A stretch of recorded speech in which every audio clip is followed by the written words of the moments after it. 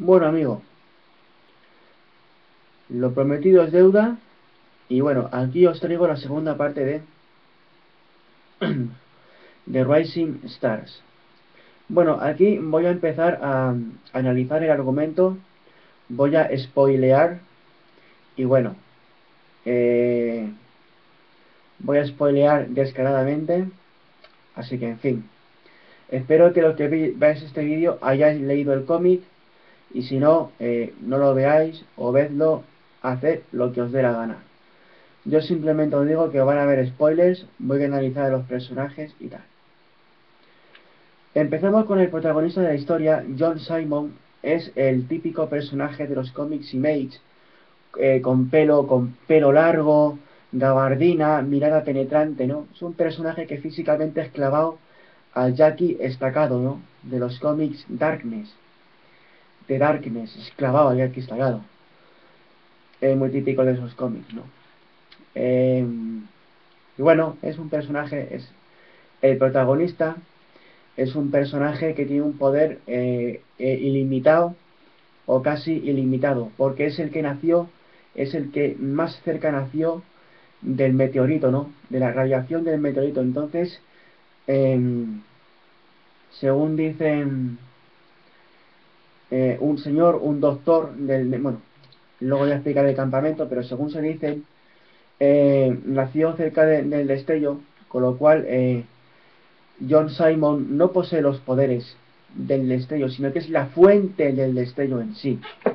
O sea que digamos que John Simon tiene todo el poder del destello, del meteorito. Entonces eso da un poder ilimitado, casi ilimitado o ilimitado, ¿no?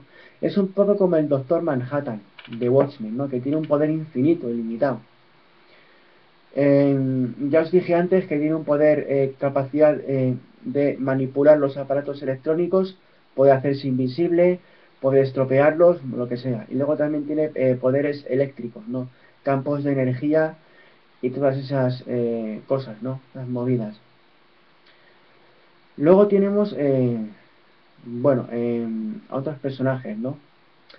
Pero eh, eh, John Simon nos va explicando un poco de qué va la historia, ¿no? Sus diarios. La historia va de que cuando estos niños eh, nacen, es decir, el meteorito cae en Pederson, 113 niños nacidos en, ese destello, pues adquieren superpoderes.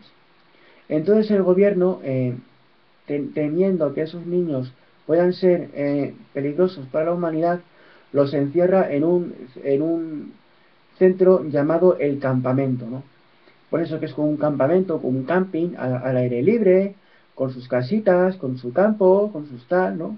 Lo que es un camping, lo que suelen ser aquí los campings, aquí en España, pues igual, pero más grande y a lo bestia, un campamento. O como aquí en España se llaman campings, ¿no? A lo bestia. Pero para niños con superpoderes, ¿no? Entonces, bueno, eh, dentro de los personajes hay un señor que se llama Doctor Wells, el Dr. Wells es una pieza fundamental en los cómics porque es un ser humano normal y corriente, pero que eh, va, eh, va analizando a cada uno de los niños que nacen, ¿no? El Dr. Wells nos explica los poderes que tiene cada uno, si vuelan, si tal, si cual. Pero el Dr. Wells tiene un secreto y es que, eh, sin que lo sepa ningún niño, sin que nadie, trabaja para el gobierno o colabora con el gobierno. Es el Dr. Wells eh, analiza los superpoderes. Por curiosidad, para mejorar el mundo, para ver qué puede hacer cada individuo. No, sino para que si en algún momento estos chavales, estos 113 niños, se vuelven peligrosos para la humanidad, lo que hace es analizar sus poderes para poder describir cuáles son sus debilidades o sus puntos débiles, para que en algún momento se puedan neutralizarlos o incluso matarlos, ¿no? Y esto es lo que planea el gobierno. Dentro del gobierno hay como una especie de secretario de defensa llamado Paulson. Eh, Paulson. Paulson es el típico eh, agente de gobierno corrupto, eh, malvado, que quiere hacerse con los poderes de los, de los chavales, ¿no? Los quiere matar. Trabaja con el miedo, trabaja con el miedo que hay de que estos chavales puedan ser peligrosos en un futuro, ¿no? Y eh, luego eh, también tenemos, eh, eso es un poco los personajes humanos, ¿no? Los humanos. Dentro de los superpoderosos, aparte de John Simon, tenemos a Randy Fisk, alias Raven Shadow. Raven Shadow es uno de esos personajes rollo Batman que aparecen en los cómics, ¿no? Es un tío multimillonario, es un chaval, es el primero de los 113 niños en ponerse un traje de superhéroe, ¿no? En disfrazarse, en tratar el tema de los superpoderes como algo lucrativo, por decirlo de alguna manera. Randy a medida que va eh, creciendo, se, se hace millonario. Es decir, cuando salen luego los chicos de campamento, cada uno tiene su vida, y dentro de Randy Fisk, la vida que tiene Randy Fisk es que se hace pintor. Se hace pintor, se hace fotógrafo, se convierte en un artista, ¿no? Hace fotografías, pintura, dibujante, ¿no? Y entonces con eso eh, gana una fortuna, exponiendo sus cuadros, exponiendo sus fotografías, se hace rico, ¿no? Entonces con esa fortuna, pues al igual que Bruce Wayne utiliza la fortuna y su dinero de sus padres para convertirse en Batman, pues esto lo hace para convertirse en Raven Shadow, ¿no? Eh, es curioso porque Batman tiene una Batcueva. No, este no, este tío tiene varios refugios, ¿no? Varias eh, eh, cuevas de las sombras. Él lo llama la cueva de las sombras, ¿no? Tiene varios. Entonces, si alguno de los especiales, o alguno se llaman así los especiales, los que tienen superpoderes se llaman los especiales. Si alguno de los especiales descubre la cueva de Randy y la destruye, no pasa nada, él tiene otra.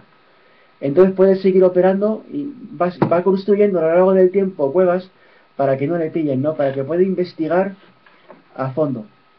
Y este personaje, ¿cuál es la función de este personaje en la historia? Es el segundo, es el coprotagonista eh, junto con John Simon. Las historias nos van describiendo que poco a poco eh, nos, nos, dice que es el hermano de Randy, de, es el hermano, casi gemelo o hermanastro de John Simon, ¿no? Por eso tiene unos poderes similares a los de él. Lo que pasa es que él se fue a vivir con otra familia, o, adoptó otra identidad, en vez de la de Randy, eh, Randy Simon, pues adquirió la identidad de Randy Fisk, pero es hermano del otro, ¿no? Es hermano de, de John Simon, ¿no? Y tal. Esto se descubre en el segundo acto. O sea, nada más empezar los cómics en el segundo acto. Y bueno, es un tío que va de eso, ¿no? Va de... Va de rollo Batman, rollo eso. ¿Cuál es su función? Pues su función es muy importante. Eh, empieza siendo el que investiga a los, a los eh, eh, especiales, tiene la capacidad de rastrear o percibir o sentir a cualquier especial que haya dentro de un cierto radio. Luego tiene la capacidad también de, pues eso, ¿no? No vuela, pero de fundirse con las sombras, ¿no? O algo de eso. También tiene unos poderes similares de campos de energía como los de John Simon. Randy Fisk y John Simon hacen una revelación muy importante, y es que cada vez que uno de los especiales muere, la energía, la fuerza vital de estos personajes, el espíritu o energía, como lo queráis llamar, se transfiere al cuerpo del que lo mata, ¿no? Al cuerpo de, la persona que lo mata, ¿no? Haciéndose mucho más fuerte y mucho más poderoso. Y eso es un poco lo que van, eh, lo que van averiguando entre sí. Luego también tenemos a Jason Miller. Jason Miller, alias Patriot. Es, eh, tiene un traje similar al del Capitán América, pero va con capa. Y es un personaje, pues eso, ¿no? Que eh, intenta ser un poco como el Capitán América, ¿no? Intenta simbolizar, pues, el país norteamericano. Pero este eh, mola más que el Capitán América, tiene superpoderes, ¿no? Al principio se le revela como el asesino de los eh, especiales, ¿no? Pero luego se nos damos cuenta de que Jason Miller es el asesino de manera indirecta. Hay una persona detrás, hay un ser especial detrás que mueve los hilos para que Jason Miller o Patriot mate a todos los especiales, ¿no? Eh, ¿Quién es este personaje? Pues este personaje es Masa Crítica, una mujer llamada Stephanie Mass, que aparece en el segundo acto, al final del primero. Critical, Critical Mass. Es un personaje que tiene eh, poderes telepáticos. Tiene un poder telepático eh, bestial es como el profesor Charles Xavier de los X-Men, pero lo bestia y más pérfida. Es una telepata de mayor nivel y los va controlando a los superpoderosos, los va controlando, ¿no? Es una tía que tiene doble personalidad. Si habéis visto la, habéis visto la serie de, televisión Héroes, eh, la que hace de Nicole o Nikki, que es una tía que tiene doble personalidad. Luego se llama de otra manera, no es una tía que tiene como doble personalidad. Pues esta es exactamente igual a ese personaje, pero más a lo bestia, ¿no? Eh, eh, cuando es Stephanie más, no tiene superpoderes, parece un ser humano normal. Pero cuando es eh, Critical ya tiene más superpoderes, ¿no? Tiene una fuerza y tiene control telepático, ¿no?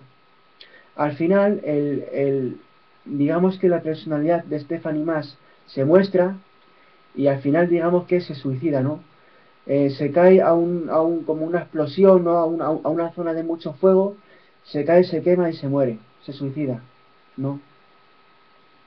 Y acaba el segundo acto. Luego en el tercer acto es mucho más interesante, ¿no? Porque el tercer acto eh, eh, nos muestra una evolución de los personajes eh, mucho más mucho más adelantada, ¿no? luego también aparece otro personaje que me gusta mucho, me, me, llamó mucha atención, es el personaje de Santuari. Santuari es el nombre de Joshua Kane. Joshua Kane eh, es un, chico que tiene la capacidad de eh, manipular la luz. Eh, puede crear campos de energía de luz. Es el hijo de un reverendo y bueno, es un tío que trabaja en, una iglesia y eso, ¿no? Y sale en la iglesia y solamente sale alumbrándose, ¿no? Como una simbología del, del Señor, de Dios. En el segundo acto muere. muere porque intenta detener un misil que lanza el Critical Mass para destruir la, ciudad donde están ellos, ¿no? Eh, para detener el misil, el tío va, se pone delante del misil y muere explotado, ¿no? Es una de las, de las muertes más dramáticas que tiene este cómic. Luego, eh, también tenemos a eh, una historia muy curiosa de Matthew, Matthew Bright. Matthew Bright es un policía pero es curioso porque una de las, cuando nacieron los niños, una de las reglas que se pusieron es que ninguno puede tener un trabajo normal. Ninguno puede ser carpintero, policía, bombero, no puede tener ninguno un trabajo normal. Y sin embargo, eh, Matthew Bright es un niño que voló, tiene la capacidad de volar, tiene una fuerza sobrehumana y vuela. Entonces eh, quería ser como su padre. Su padre murió en un atraco en un, en un, en una joyería o en una tienda, ¿no? Entonces el hijo quiso ser como el padre. Matthew, sabiendo que no podía optar a ser un policía normal con sus superpoderes, lo que hizo fue falsificar las, las pruebas de las pruebas físicas, ¿no? Y le metieron como policía. Sin embargo, en un incendio donde sus compañeros estaban a punto de morir, Matthew tiene la opción de dejarlos morir para ocultar sus poderes y seguir siendo un policía o salvarlos al final lo que hace es salvarlos. Y entonces, bueno, eh, eh, al final el gobierno accede a convertir en un policía, ¿no? A especial un policía, ¿no? Y tiene también una relevante historia, eh, una relevante importancia lo que es el, la historia, ¿no? Y bueno, eso más o menos son los personajes principales que hay en Rising Stars.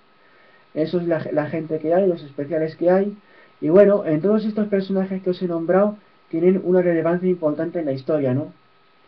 Eh, la historia, eh, no os voy a contar, eh, básicamente Randy Fisk se convierte en presidente de los Estados Unidos, Raven Shadow, y John Simon al final muere.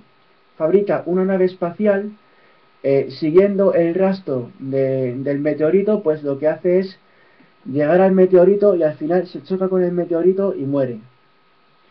Y bueno, eso es un poco la historia de este cómic. Eh, espero que os haya gustado, espero que os haya servido de algo. Es un cómic muy bueno, es un cómic muy interesante, os recomiendo que lo leáis, os recomiendo que lo veáis y luego ya me contaréis si os ha gustado o qué tal os ha parecido.